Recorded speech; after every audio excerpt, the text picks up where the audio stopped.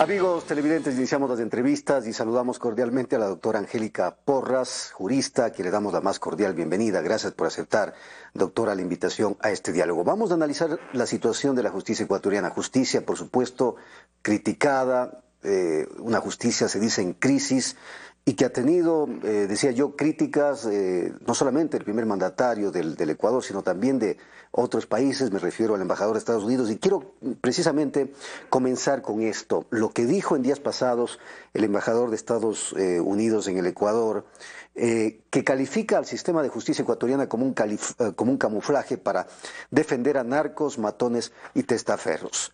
Tal es así la situación, doctora. Bienvenida, buenos días. Eh, muy buenos días, muchísimas gracias por la invitación. Eh, efectivamente tenemos un grave problema, una grave crisis en la justicia.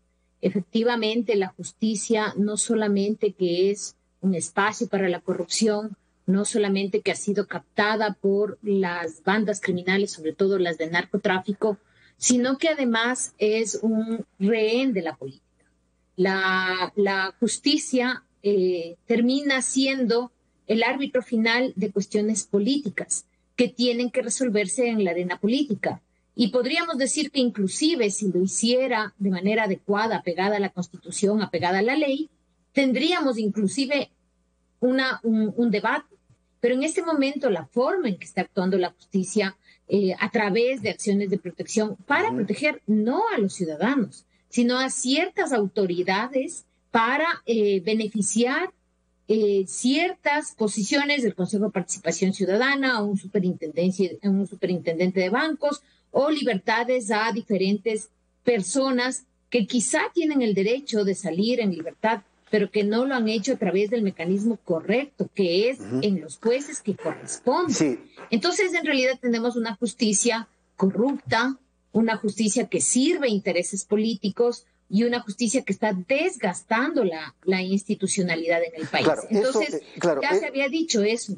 Sí, sí, doctora. Eso en cuanto a eh, usted se refiere a las medidas cautelares, medidas de protección que se han dado precisamente en estos temas específicos, pero em, nos llama la atención y creo que la mayor preocupación del, del, ciudadano común es cómo personas acusadas de narcotráfico, líderes de bandas criminales, personas que han sido reincidentes, que tienen varias detenciones, que tienen antecedentes, criminales acusados de asesinatos, eh, salen libres con medidas sustitutivas. Eh, ¿Cómo entender eso? Es decir, usted decía, sí, eh, lamentablemente la justicia está contaminada por la política, pero en estos casos, ¿qué es lo que está pasando? Bueno, yo creo que hay que hacer una distinción en esos casos. para nadie es un secreto que en la justicia, sobre todo en la justicia penal, el mecanismo principal de obtener justicia o injusticia es la corrupción. Entonces nosotros tenemos jueces penales totalmente vinculados con la.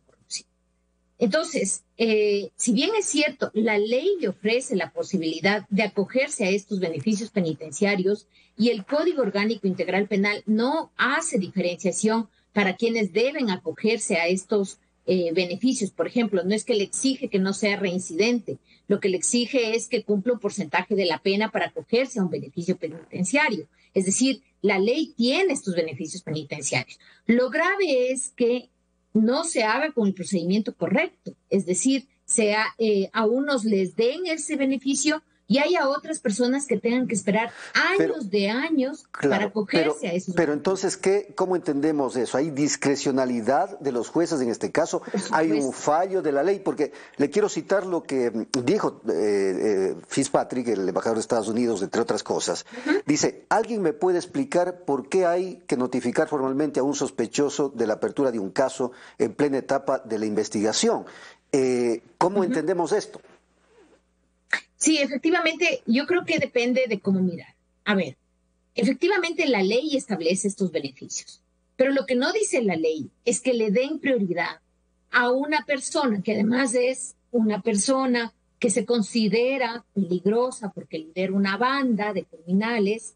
Entonces, eh, lo que hacen los jueces es a unos darles y a otros no. Y lo más grave, lo que más llama la atención es que se ocupen justamente de aquellos que son considerados líderes de bandas criminales, Entonces, la pregunta es, ¿por qué lo hace? La segunda cuestión que usted plantea, que es lo que dijo el, embajador, eh, si la ley establece sí, sí establece la ley. Hay que notificarle a la persona que le están haciendo una indagación.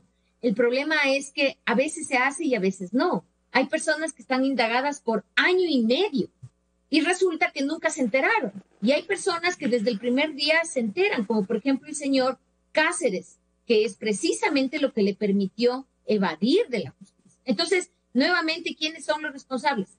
Los señores fiscales y los señores jueces.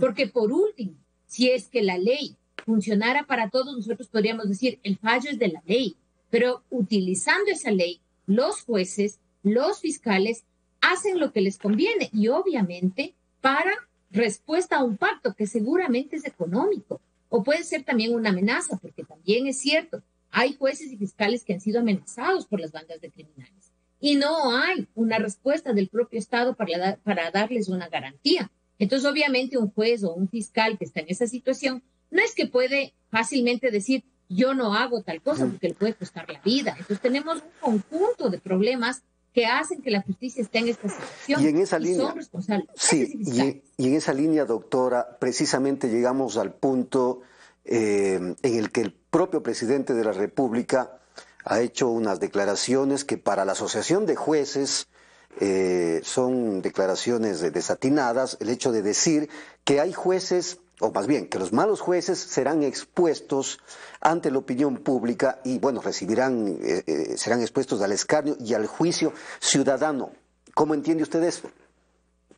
Bueno, a mí me parece una pésima estrategia, porque al juez que comete un delito hay que hacerle el procedimiento penal que corresponde, la investigación que corresponde. Es lo que tiene que hacerse porque la opinión pública, que puede estar eh, en algunas ocasiones correcta, en otras no, no es el juez natural de una persona que comete un delito en los medios de comunicación, porque además pueden equivocarse. Y nuevamente es aceptar que ninguna de nuestras instituciones funciona. ¿Por qué no se hace una verdadera investigación sobre la corrupción de los jueces? Esa es la pregunta. ¿Y sabe por qué no se hace? Porque uno de los factores de corrupción es el propio Consejo de la Judicatura. Todos conocemos los audios filtrados que no le costaron el puesto a nadie. Es audios filtrados pidiendo que se sentencie de A o B manera. Y los jueces que reciben presión graban esos audios. Entonces, ¿cómo cree usted que después el Consejo de la Judicatura va a iniciar una investigación de corrupción contra ese juez? Si ese juez tiene el audio del Consejo de la Judicatura que le llama a nombre del presidente de la República para decir que se sentencia a favor, en ese caso, de la señora Yori. Entonces, en realidad es un sistema de corrupción que está sostenido también desde el Ejecutivo y también desde las más altas autoridades de la justicia. Entonces es imposible acudir al propio sistema judicial. Entonces dice acudamos al ámbito público. Sí, la, ciudadanía ya sabemos. La, cabeza, ya conocemos lo que son los Sí, la cabeza está mal, imaginémonos el resto. Bueno, habrá posibilidad de seguir hablando de esto. Eh, doctora, gracias por acompañarnos con sus importantes criterios. Doctora Angélica Porras, jurista. Hacemos una pausa y hablemos con más.